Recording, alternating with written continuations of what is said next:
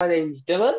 I use he, him pronouns, and I'll be your host this evening in the talk Young People in COP26 with the under 18 Young Greens. And we have three amazing speakers t- t- this evening. We have Josh Tregale from, sorry if I'm mispronouncing anyone's name, by the way. we have Josh Tregale from Mock COP and Youth Climate 2021. We have Sarah McArthur from the UK Youth Climate Coalition. And we have Emma Greenwood from Youth Strike Climate in Manchester and Fridays Future Digital. Now, I do I do have to mention our safeguarding policy. I have posted it in the chat, and our designated safeguarding lead is Fola, who you may see with the tag safeguarding on his name tag. Please contact him at any point throughout the night if you have any concerns about safeguarding, and if you have any questions, please direct them to Kirsty, who has the questions here in brackets on their name tag. Please put as many questions in as you'd like, we'll, and we'll do our best to get them answered. And so we will go to our, if everyone's all right with that, we will go to our first talk, and that is from Sarah McArthur. Thanks, Dylan. Hi, everyone. My name's Sarah. I use she, her pronouns, and I'm from UKYCC, the UK Youth Climate Coalition. Um, we're a youth led non-profit group working towards climate justice, um, all volunteers, and we organise almost completely online, um, completely online at the moment. Um, and we look to create a safe, fun space for young people to develop campaign skills. That may be running whole campaigns, joining with partners, or supporting work that is already happening. Um, and I'm a part of the COP team, um, Conference of the Parties team. So each year our work revolves around attending the annual COP and also the lesser known intersessionals, which take place each June in Bonn. Um, and they're usually the time when loose ends from previous years are attempted um, to be tied up and plans for the next COP are made. So we have loads planned for every COP and even more so for this year, um, given that it will be in our home country. And in my case, it's my home city. Um, so we're very lucky to be an accredited organisation, which means that we get a certain number of passes, which will allow some of our members access to the blue zone at COP, which is where the main negotiations happen. Um, the green zone is just outside of this, and this is where most of the civil society action will take place. Um, we also expect to be engaged here a lot, as we won't be limited in the same way that we usually are on who can attend, because COP26 will be in the UK, um, and that's where all of our members are based. Now, this is good for us, um, but this is now the fourth COP in a row that is going to be held in the global north. Um, and our mission at UKYCC is to mobilise and empower young people to take positive action for climate justice. And in the context of COP, you've got procedural climate justice, which is particularly important. Um, this is because who is able to participate in and observe COP decision making um, this impacts the shape of the agenda um, and the rules and agreements that emerge from this. And in a in a year when Black Lives Matter protests have triggered what um, I think we'd all agree is a long overdue reflection on racial violence and injustices, we at UKYCC did some reflection of our own and came up with some shared commitments. Um, and the COP working group our aim from this was to fundraise to ensure that more young people from the most impacted and marginalised communities are able to attend and participate in COP26. We previously have raised funds to support the Brazilian youth group Engajamundo um, to attend COP25 when the conference was moved um, very last minute from Santiago in Chile to Madrid in Spain. Um, I was also a part of the organising team for the UK's first ever local conference of youth, um, which was for young climate activists to meet and to share knowledge. Um, and these local conferences take place all over the world each year in the month leading up to COP, with the then the Global Conference of Youth, the COY, taking place in the host city to bring young people together from all over the world. Um, and UKYCC, we're one of the implementing organisations for COY 16, which is happening right before Glasgow, before COP26. Um, and I know that they're really keen to get more young people from the UK um, on board their organising teams. So I definitely recommend checking out the COY 16 website and their social medias for volunteering opportunities there. Um, but anyway, back to our fundraising campaign for this year. Um, we have just this week launched our. Voice, Missing Voices campaign to support the participation of Global South and Indigenous youth groups at COP26. Um, and we're asking people to join one big, massive sponsor, sponsored exercise challenge, whether that's running, cycling, wheeling. We would love for some of you to join in um, or to donate through our GoFundMe or even just to share the word on social media. Um, we're also looking to lobby the UK and Scottish governments. Um, as an established organisation, we're very lucky to have some quite good ties that have been built up over the over a decade that UKYCC has been running. Um, so we're looking to lobby them to improve access for Global South youth groups travelling to the UK. So that's through things like visa allocations, accommodation, and, and now vaccine programs as well. Um, but our starting point for this campaign was to come up with something, something fun, something accessible, and that um, everyone was able to get involved in. We're seeing a fantastic rise in young people engaging in the climate movement. Um, I'm just off a call with um, some other UKYCCers, we're in the process of recruiting new volunteers and we've just seen our highest ever number of applications and they were all fantastic, all brimming with enthusiasm and drive to make a difference. And and this is the case everywhere. Um, everyone wants to get involved um, in the fight against the climate crisis. Um, and it shouldn't just be the big governments who get to dictate how this is addressed. Um, and especially in the context of the pandemic at the moment, um, we're seeing the potential for the UK government um, and governments all over the world to exclude civil society groups from COP, um, and this potential is is bigger than it's ever been because, um, well, we've seen the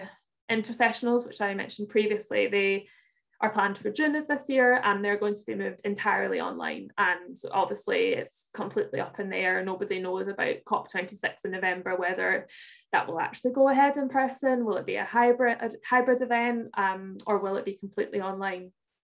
But the the intersessionals in June, this will be the first public show of leadership from the UK. And we think it's it's crucially important that they ensure that civil society participation and inclusion um, is is at the forefront of their goals. Um, and this is one of our nine demands to the UK government ahead of these intersessionals. Um, and yeah, you can read more about them on our website, on our social medias, um, because engaging with this Scottish and UK government um, is a super important part of the work we do leading up to COP26 um, and has been in the past. I think one of the things we've certainly learned the hard way at UKYCC is that you have to weigh up between trying to do everything and be everywhere and um, and then also actually narrowing down your focus to where you can have the most impact um, and make a change and a good example of this is at COP24. Um, UKYCC turned a lot of our attention to calling out the UK government to include a gender focal point in their negotiations. And this works, it actually happens. Um, the UK government representative that we met with um, agreed to this. Um, and then when we followed up with them after the event, they, they then made the change. And this was able to happen for a few key reasons. Um, first, as I've said, we, we targeted our focus on this specific demand, but also because we knew that as a structural change rather than a policy one, the, the UK government would be in a better position to be able to meet that demand. So that's an opportunity again for campaigning for change and no matter what area you're campaigning for and and it'll certainly be um, a big part of our planning on how exactly we want to target um, to make the most impact um, and lead up to COP26.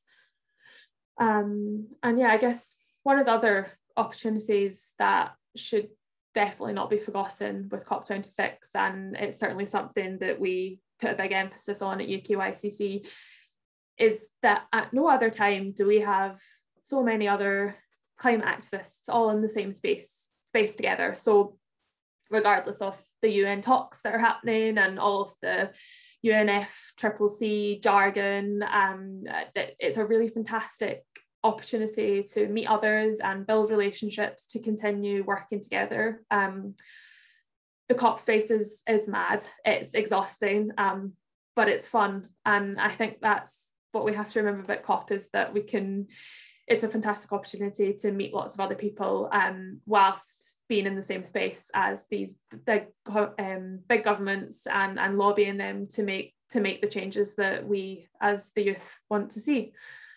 Um, and yeah, that's that's me. Uh, I don't know if we're wanting to do any questions now, or I'll just hand over to the next speaker. Hi, uh, thank you so much, Sarah. That was that was amazing. Um, you mentioned a lot about the um, Conference of Youth, mm-hmm. which and I've been wondering how would young people be able to get involved more in that.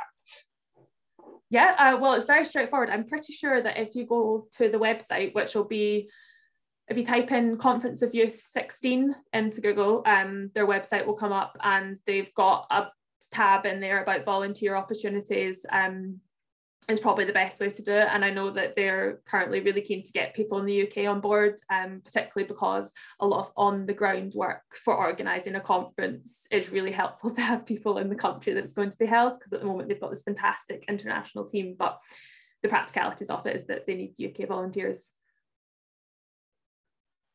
yeah, thank you so much, Sarah.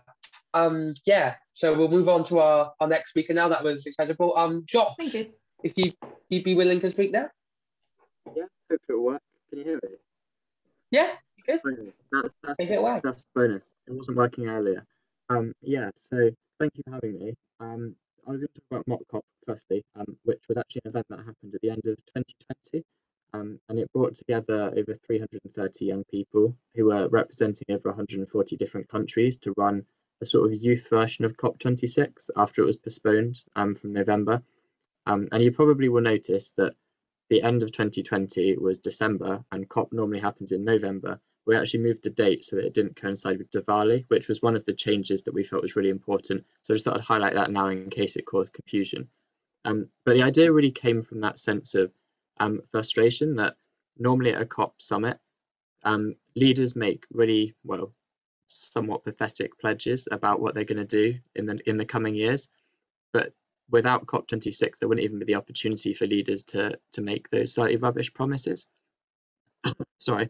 Um, so we sort of felt like it was it was a year where it was really important to still take climate action, given that there'll be huge amounts of expenditure over the course of the recovery and supporting businesses over the course of the pandemic and where that's directed could have a real impact on how um, how green the transition out of the, the pandemic is.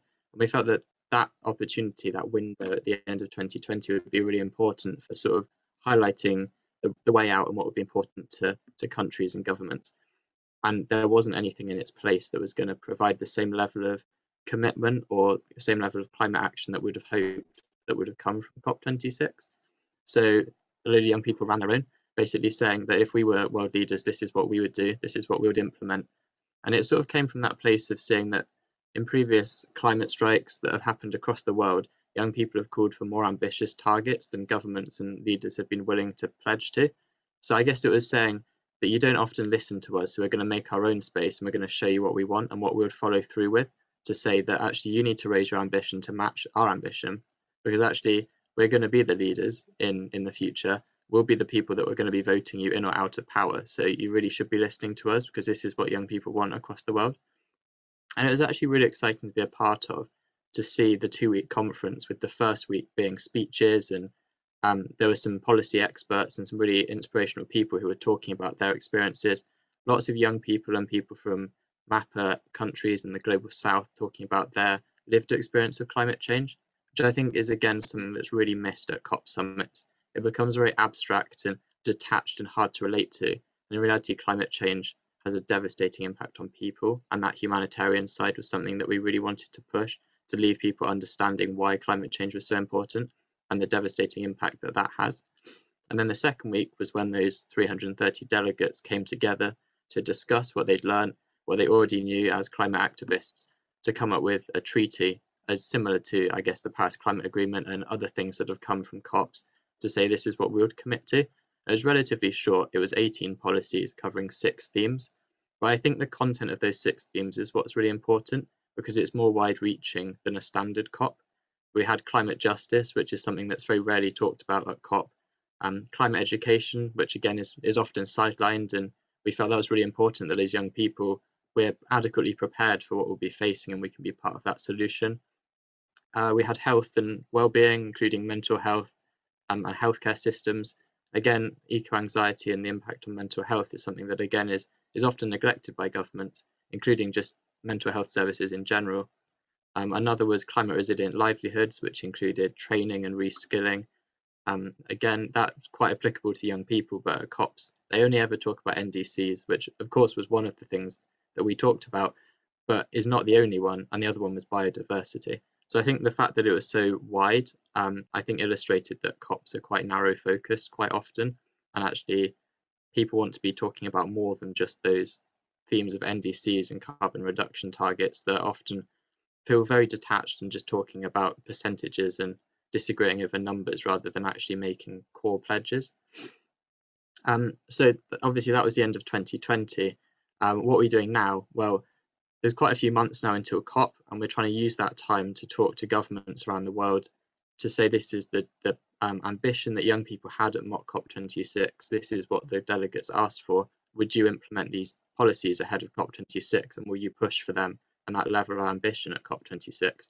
So there's really to start campaigning with governments and politicians, engaging them on these issues, um, and trying to raise that ambition ahead of COP. Ideally, with at least 30 countries implementing part or all of the treaty, um, which would be a really nice thing to see. Um, we've we've identified, um, I think, 34 countries that could be high priority countries where we've got active volunteers and delegates, and there's countries that are acceptable to these sorts of policies.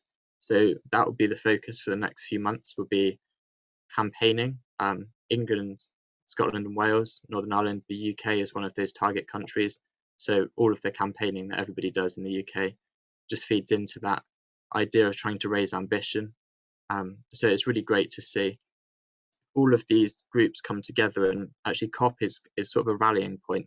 Um, all of these actions that everybody individually takes to campaign and to call for more action end up condensing when it comes to COP26, when leaders have to look at everything and they see how much people want this. I think that's something that's really important especially coming up to COP26. Um, the other thing that we're trying to do is to try and ensure youth representation at COP26. So we'd really like to see young people present at COP, able to talk to the negotiators, ideally be on the negotiating team, so to have that youth presence in both the green and the blue zone to ensure that youth voices are really heard. It's not just a tick box exercise where people have to be on a panel, they have to have like a certain number of young people on every advisory group to say that actually we're going to be listening to young people and they can be part of that process. It won't be hidden away behind closed doors.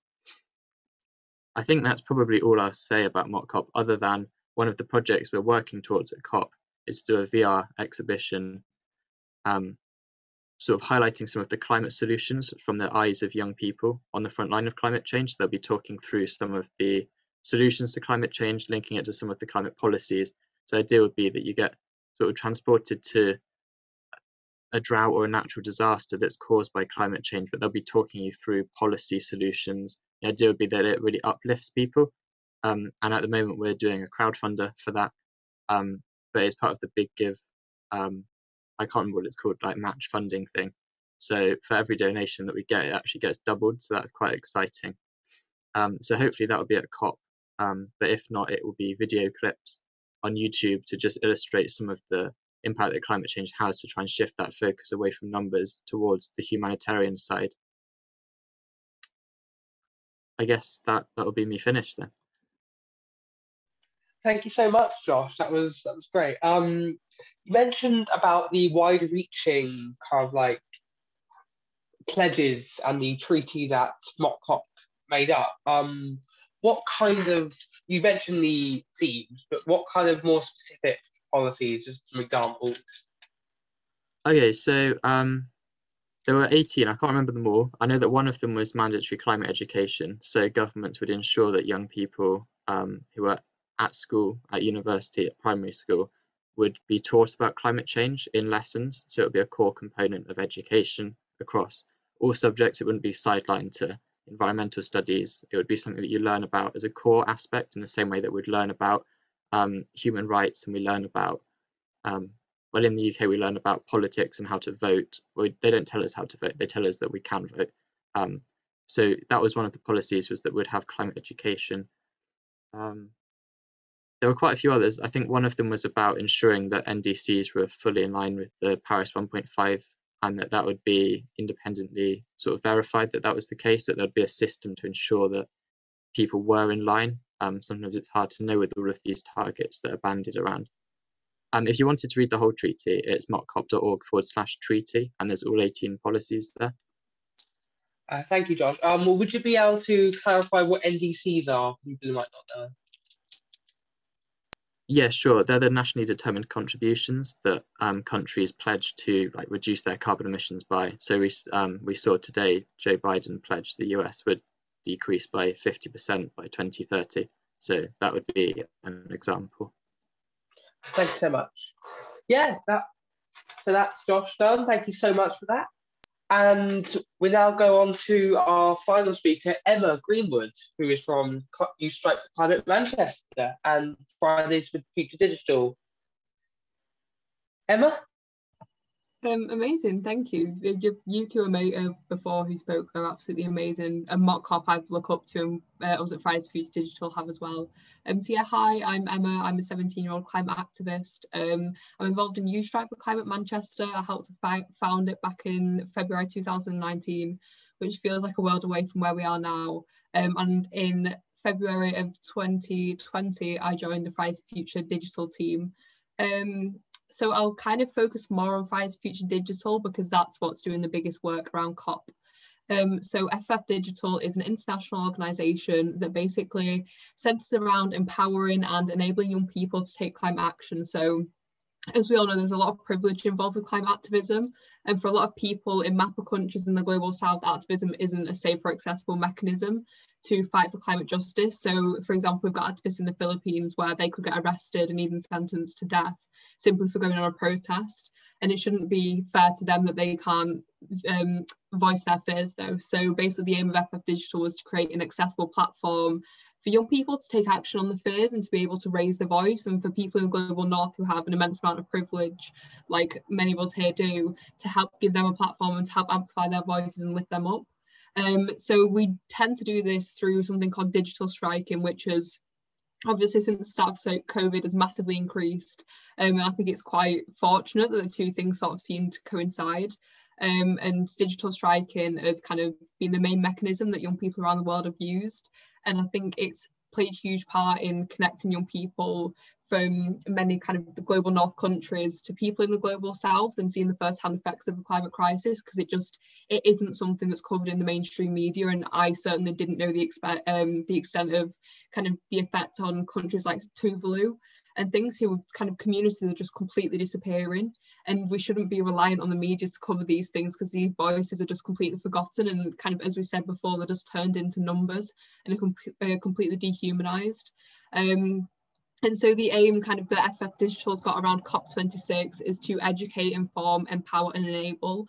So as we've seen, there's just so many acronyms with COP26 and I've kind of never been to a COP and the blue zone and the green zone took me far too long to get my head around. And kind of if I'm struggling with that and I'm a climate activist who's got a good education and has got time to look into these things, people in global, global south who don't have access to these, the networks that I do or the information, they're going to struggle even more. And so we hope to educate people in an accessible way to help them engage with COP because if you don't know what COP is and how the process works and how you can get involved, then you've got no chance of having your voice there. Um, so from around June until hopefully COP takes place in November, we're going to be running educational sessions, educational posts, and ways that people can get involved, and mainly focusing on not how pe people can physically get to COP26, but how we can utilize the voice of young people across the world to help bring them together in a really powerful way. Um, this is obviously changing as kind of COVID changes because the accessibility of things is constantly kind of um, changing. But um, yeah, that's what we're hoping to do. Um, there's an amazing team of people in FF Digital that work on a multitude of things. We're currently working with some climate scientists because a big problem and disconnect is generational. So there's lots of young people who want to take climate action and there's lots of adults, but there seems to be this really big gap in the middle where there's just no crossover.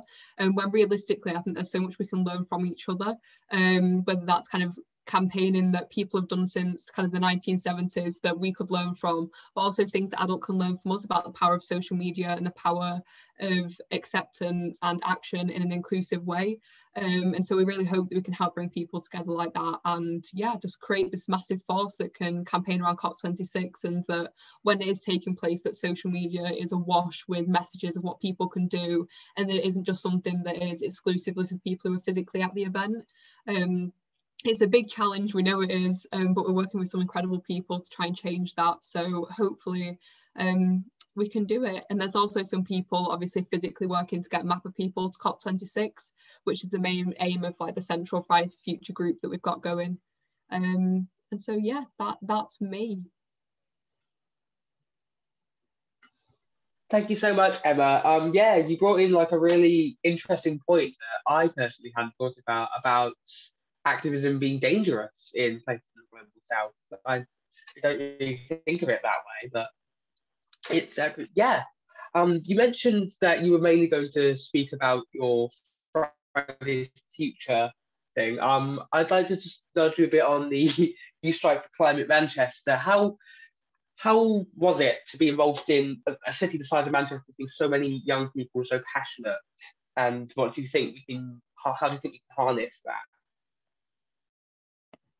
Yeah, so I get really emotional when I speak about the strikes because we did one in September um, 2019, which was the general strike for climate, where there was huge ones across the world at kind of a level we've never seen before. And I think there was around 10,000 young people in Manchester, which is like, it, it was just incredible. And I think as a young person, it can be so hard to find that group where you feel you fit in or where you feel people have the same fears as you in that sense. Um, but when you're at that strike, I think there's this atmosphere of acceptance and joint unity and joint anger, and you just you're sort of in this big bubble where you all feel like the entire world is fighting for the same thing. And I think the power that was felt on that day and the empowerment that I got from it kept me going throughout the pandemic when activism got a lot hard when we couldn't physically strike. Um, and I just think, especially on a local level, um, there's empowerment in young people coming together because there's a lot of regional issues that just aren't relevant to other places like manchester's public transport network is like terrible. It's such a bad public transport network it isn't accessible and it's very expensive whereas that isn't necessarily something that a city like london struggles with. So i do think there's power in bringing young people together to fight for issues that are relevant to them because it is just human nature that we tend to focus on things that affect us personally and affect us firsthand. Um, and kind of I think utilising that first-hand effect that it has to use it as a mechanism to educate people on things affecting other people around the world is sort of a good gap in the door to go in through if that makes sense. Because um, I think sometimes if you just come at people who aren't actively engaged in the environment network with like MAPA countries people in the global south they just instantly turn off because they just don't think it's a problem that they have to deal with but making it relatable to them and then opening up those issues I think is possibly a more accessible and engaging format to do it. Um, so that's something we try to do at Youth Strike Manchester. Oh yeah thank, thank you so much. Well that, that's our three speakers um, if you remember if you have any questions send them to Kirsty but we do have a few in and as Kirsty is our quiz is our question master not quiz master our question marker they will hand off and Kirsty, go and ask your question. Fancy? Thanks. So we've had a few in from the sign up form. So I'll just start with that. And I suppose this links quite well on from um, what Emma, you were just talking about. But if any of the other speakers want to um, add in about this, but um, how are you taking an intersectional approach to climate activism? Uh, should we maybe start with uh, Sarah? Do, is there anything that the um, Climate Coalition is working on in terms of intersectional activism? Yeah, I think that was a big part of our reflections, like I was talking about this year, um, that we've been doing, and really reflecting on our privilege as activists in the UK, and we don't have that same pressure on us if we're striking that we're going to potentially be put in harm's way um like like emma you were saying that example is that's absolutely terrifying and that's just not something you ever have to consider if you're striking in the uk or a lot of other global north countries. Um so yeah it was about we've been partnering up with um a couple of um organisations that we have links with in the global south. I mentioned Engajamundo and um, the Brazilian youth climate group. Um, so we've been doing some work with them and we're hoping to, hoping to get some stuff um, out in the public domain soon with some events that we're planning with them. And, and it's it's about sort of handing the mic. I think that was also said today is that is about getting lived experiences from people in the global south who who don't get that pl- platform and who can't physically access the COP space or even if they can physically access the COP space don't necessarily get through the barriers that are put up in all of the acronyms and the jargon that goes around the NDCs and greenhouse gas emissions and all of that. And, and it's just not an accessible space um, if you haven't been upskilled enough to learn about it um, so yeah that's my roundabout answer to that Great, thank you. Um, I suppose we could do. Do either of the other speakers have any other additions to that, or we'll go on to another question. Um, so, uh, I suppose uh, one question I have is um, uh, maybe Josh, you could start this off. Is kind of which countries have like the most active like youth activism kind of scenes? And um, yeah i think that's quite interesting to see you know which countries kind of are quite willing to to meet um quite progressive targets at cop26 and which countries are going to prove more of a problem do you think? Yeah i think that's a really good question. I think it's really important as well to work out an answer to because it, it helps to sort of focus where campaigning happens and i think there's actually a difference between where the like active people are and which countries have the progressive like the progressive governments um, I think something that we found with Mock COP was that most of our, like the, the countries with the largest number of applications were the UK, which we sort of expected, but then it was Nigeria, Kenya, and India. And lots of the other European countries had fairly few applications. And actually, there seems to be a difference because on, on like the, the leaderboards of which countries are progressive, it's always Europe, it's always global north countries that end up on that list, and it misses off most of the other countries. Um, but where the like the biggest groups of active people are, we found that they were in Africa and they were in Asia and they were in South America and Latin America and the Caribbean. So there seems to be a difference between where people categorize progressive countries and where there's like a real group of people that want to be making change. Um, but yeah, I think some of the ones that we found that, that seem to be quite progressive, um, some of the Scandinavian and Nordic countries seem to be quite progressive, but then lots of that might just be governments making statements and they're not backing it up with action, which is something that we see quite a lot. Um, countries seem to quite like throwing around targets and talking about how great they are and sort of outbidding each other and competing when it comes to these targets, but then they rarely back it up with evidence of how they're going to be doing that. So it's, it's a difficult one, really.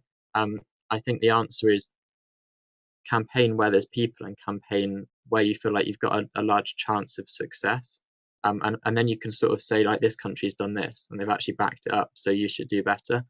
I think that that sort of idea is quite good especially when countries seem to be wanting to be like world beating or the best in the world. Um, i think i think that's probably a good way of doing it um, but there does seem to be a discrepancy between the two. Yeah thank you. That's actually that's actually a really good point that we kind of view the countries in the global north as being very progressive and don't actually really consider a lot of other countries that are you know acting on their climate targets um, uh, i suppose a kind of related question is um, are you optimistic for success in striking a good deal maybe we could uh, start with emma on this one I'll touch on the one before as well. Um, yeah, yeah, yeah. Because I was just going to add, I think we have this view of activists and people actively doing things as a very much like a, a publicised um, media profile sort of aspect to it. When in reality, the amount of Indigenous groups there are that are just inherently environmental activists because they just they live off the land they they've kind of the observations that they've made of climate change they haven't got any climate science as we view it, but they've fully acknowledged the fact that climate change is happening and they have data that is sort of more accurate than any science we've got. And I think it's important that we recognise that climate activism isn't just the kind of vocal one, the media profile that I think we see now. Actually Indigenous groups who've lived off the land and who actually kind of care for 80% of the land but only make up 8% of the population these people are probably the biggest assets to the planet um, and it's just impossible it, important that we recognize them because a lot of the time I do think they're they're forgotten by the media and they're not given the platform they deserve for the incredible work that they do to kind of protect and understand the biodiversity that our planet has um, but in terms of the question you asked on policy um, I, can you repeat the question? I think I've forgotten it. Am I waffling for the one before? it's okay. Um, I was just asking, um, are you optimistic for success in striking a good deal at COP26? Um, I think there's a place for optimism because it is there's a certain momentum I think that we've not had before. Um, it kind of the youth strike movement and striking across the world and environmental awareness has just increased um, since like the youth strike started and Greta started striking in Sweden. Um, but I do think there's a certain hesitation there has to be because there is this increase in presence of targets that seems to be becoming more and more ambitious like Boris Johnson has um, brought our carbon neutral targets forward. But we weren't meeting the original targets that were there in the first place. So him bringing them forward with no extra evidence of how he's going to meet these increased targets when he wasn't going to meet them in the first place it's this sort of thing where I think we have to be aware that there's a difference between policy and promises and the Paris Agreement and what countries begin to take action on and how much they're willing to sacrifice. Because at the moment, I think we're still trying to stay in this very comfortable, um, politically safe spectrum where parties don't want to push the country too much and lose support. But I think there's only so much that can be done in that sphere. And I do think it's going to have to get to a point where we become uncomfortable and we have to sacrifice things because the fact is we've only gotten to this comfortable place where we are now from exploiting the planet. Um, and I do think at the moment there's there's a place for optimism, but there's also a place for caution and scrutiny and pessimism in a sense, because if we don't question what leaders are doing, um, we'll never they'll never have enough pressure on them to take the true action that's needed.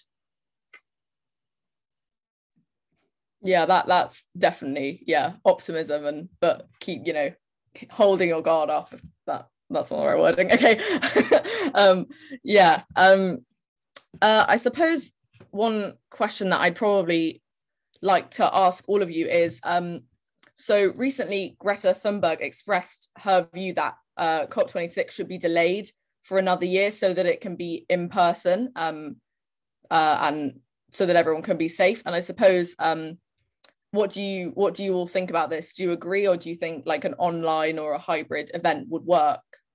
Uh, should we start with Sarah? Um, I personally would be really, really cautious about if it goes entirely online or if it even a hybrid model of COP because like I think I touched on earlier, that that provides an opportunity to exclude the most affected groups of climate change from the negotiations. It allows vested interests, so the big polluters, the big corporate polluters, to be able to get into the negotiations, get in the back door, um, there's so much more opportunity for stuff to go on behind the scenes that, that the rest of the world doesn't know about. So that's why I'm cautious to say I want it to be online, but obviously we want it to be safe. So I I would probably echo Greta's thoughts about pushing it to make it as in person as possible. Um, so pushing it, be that another six months, a year, um, I, I some of I know the UK government is wanting it to be in person, and I think they would support um, a push to make it be delayed again. Um, whereas, and I think that would be supported by a lot of global South countries, whereas other big global North countries like the US and countries in Europe um, would be more keen to see a hybrid online model. So it'll it'll be interesting to see what happens. Um, I think it's hard to um, speculate on what it'll be right now. Obviously, we've got intersessionals online, but who knows what it'll be like in November.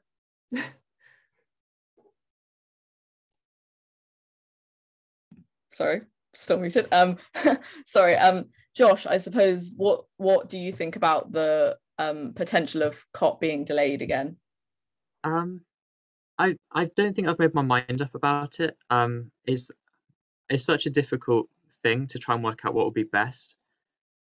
But I I think if it was postponed, I would be concerned that if there wouldn't be anything in its place that they wouldn't that they would decide to wait a year to enact climate policy or to come up with ideas or to even put um, things in place to meet the existing targets that like emma said they're not even meeting.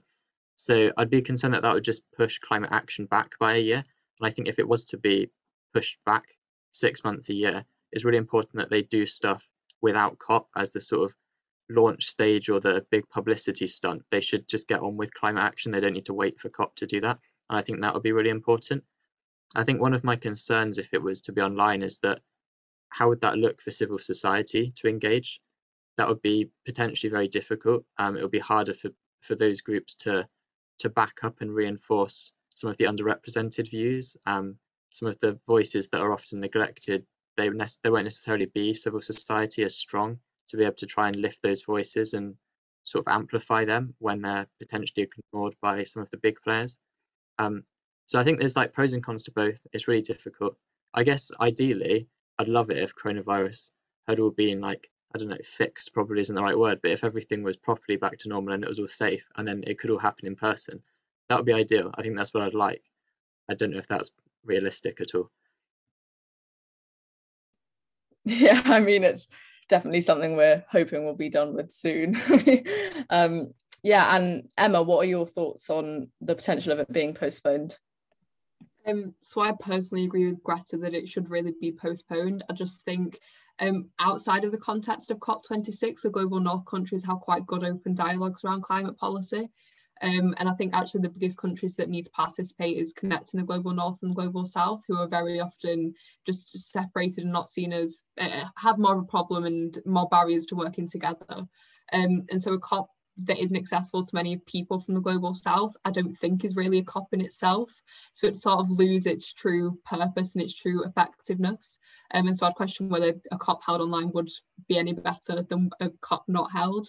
Um, but I do agree with Josh that if there isn't a COP, that isn't an excuse for countries to then go, oh, let's wait another year to take climate action because they could say that for eternity, and I think many countries would. Um, the fact is that many countries have ambitious climate targets to be working on, and they don't need COP to start doing that um, and delaying it. And COP26 in, in the first place shouldn't have been the main mechanism to kind of launch countries' environmental action. They should have been doing it back at COP25. And I think this expectation that COP, the COPs are like this, this launch pad for environmental efforts is just really unhealthy because it isn't something that we can keep waiting to events for and waiting until Earth Day and things like this to do actions. I think we try and pin it too much on events when in reality I think it should be something that's ongoing and these events should just be more hubs to come together and reflect on what we've done instead of being a launch pad to start something new. Um, I hope that makes sense.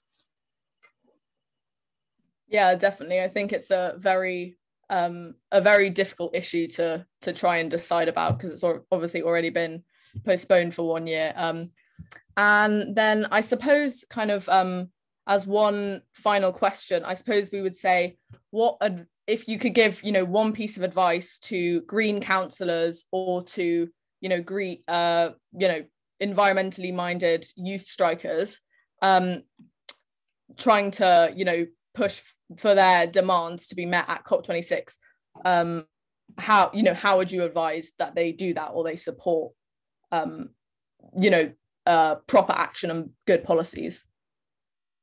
Uh, should we start with Josh? It probably sounds really boring, but um, the number of times MPs have said that they don't get letters about climate change, so they don't think people care, and therefore don't vote about it, don't talk about it in Parliament.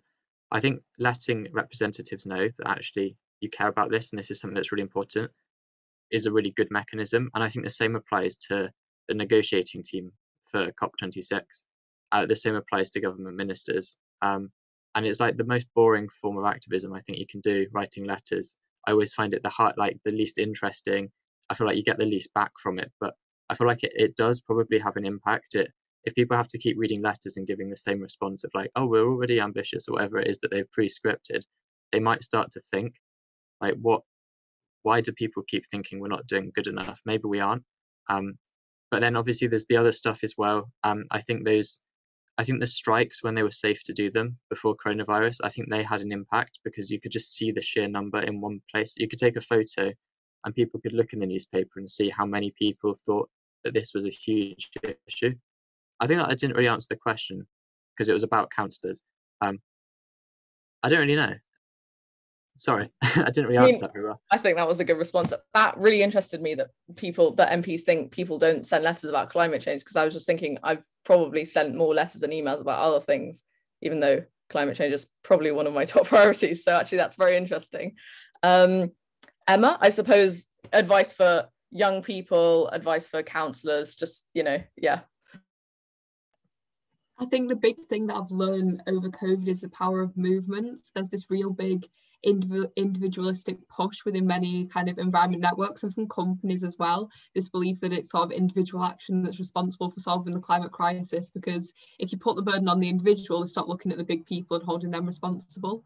Um, but I think there's so much power in coming together as a collective and fighting for one thing. I think your voice holds power as an individual, but when you multiply that with many others, I think you can achieve more when it's concentrated. And so finding a local movement, finding a nationwide or worldwide movement, setting one up, um, there's climate action groups, get your councils called climate emergency. There's so many actions that can be taken and just put a message out on kind of social media, see if anybody in your community is like-minded. You might end up meeting someone new and pushing for change.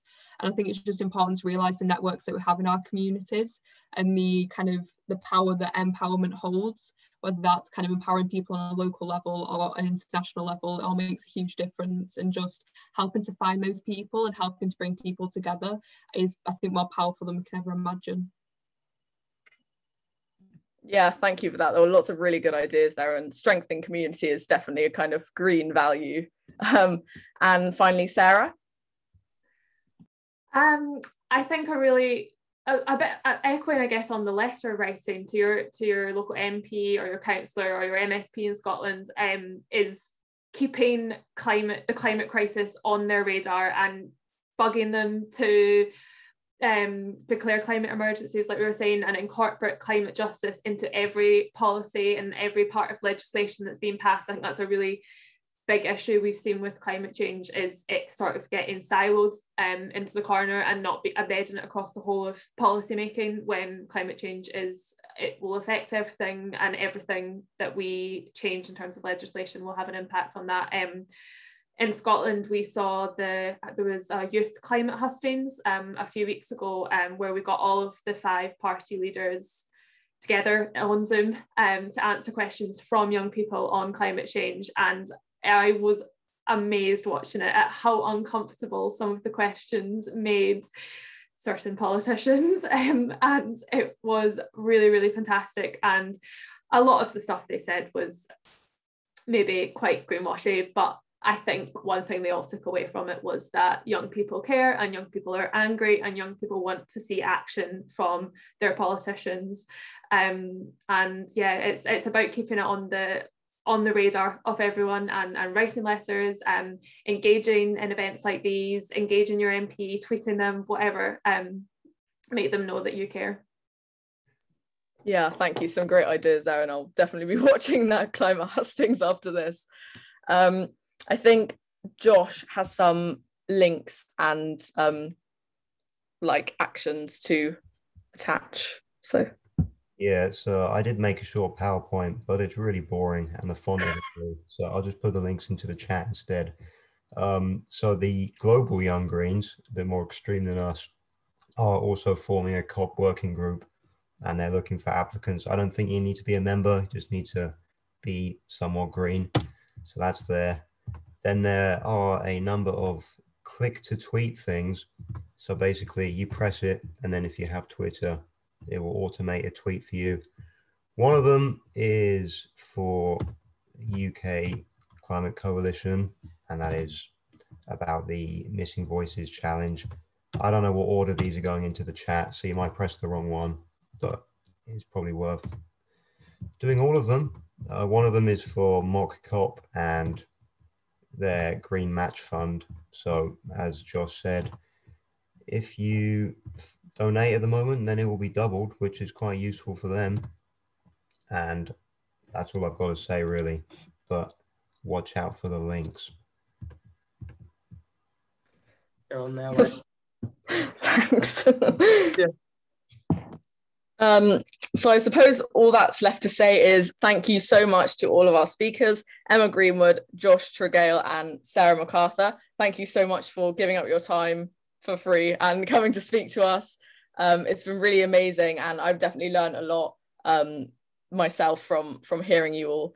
Um, so if you're a member of the Green Party and you want to get involved in work surrounding COP26, uh, you can join the Green Spaces page called COP26 Glasgow, and you can become a COP champion, as in like in the COP group, um, by emailing the leader of that group, uh, Julian Dean. I'll, would someone be able to put his email in the in the chat? Thank you.